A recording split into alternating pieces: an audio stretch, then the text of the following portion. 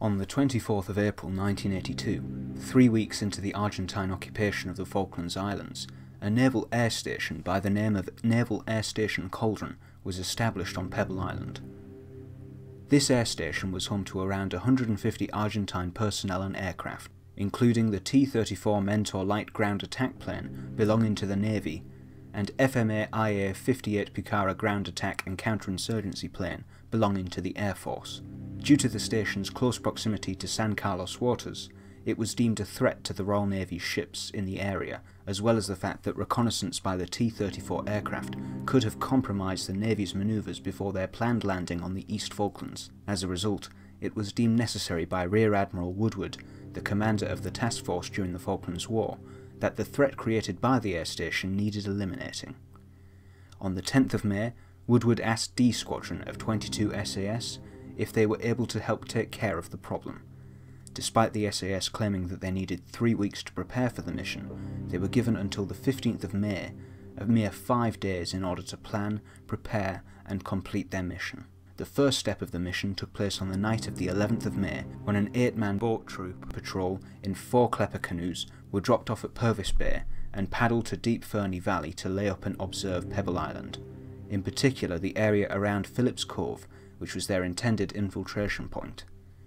After a few days, the men then paddled over to Phillips Cove, at which point they split into two four-man patrols.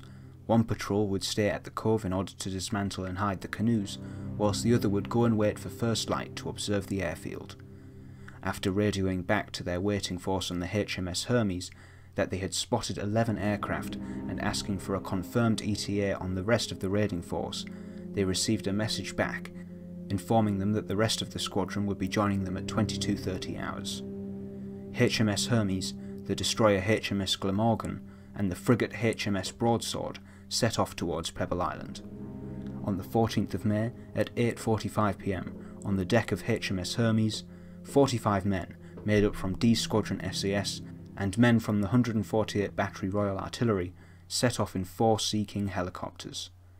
They had initially planned to set off at 8pm, however the weight of the men meant 45 minutes had to be spent burning fuel in order for the helicopters to be safe to fly.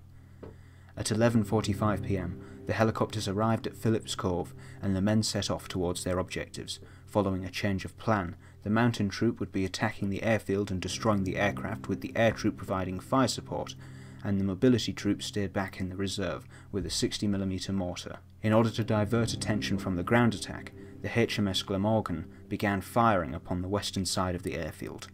The Argentinians, believing they were being shelled to soften them up for a ground attack later on, began to try and start fighting the fires which had been created in the shelling. The SAS opened fire on the men trying to fight the fires, who then went and took cover in their bunkers, where they began to return fire.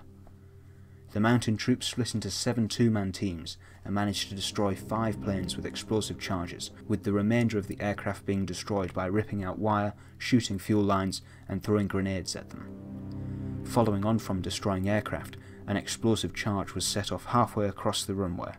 Throughout the whole raid, it was reported that the Argentinian forces remained confused and unable to effectively react to what was going on around them, due to them primarily remaining in their bunkers following the shelling. At 3.45am, the men were all back in their helicopters and heading back to the HMS Hermes, and arrived back to the aircraft carrier at 5.30am. The results of the raid resulted in all 11 aircraft being damaged. Out of the 6 Pucaras, one had serious damage, 3 had minor damage, one had shrapnel damage, and one was damaged but still able to fly. The 4 T-34 Mentors were damaged and a short SC-7 Skyvan transport plane was destroyed. The SAS and Royal Artillery suffered no fatalities, with only one wounded on their side, and with reports differing from them being wounded by an Argentinian IED or shot in a case of friendly fire, and the Argentinians suffered a fatality of a commanding officer.